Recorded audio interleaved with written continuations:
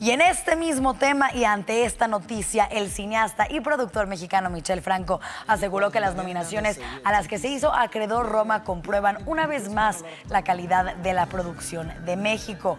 Además dijo que no tiene duda de que va a ganar los Globos de Oro y el Oscar. También opinó que Roma es un claro ejemplo de cómo las películas están hechas para verse en la pantalla grande y no necesariamente en una televisión. Imagen Noticias con Paco Sea, lunes a viernes 5.50 AM. Participa en Imagen Televisión.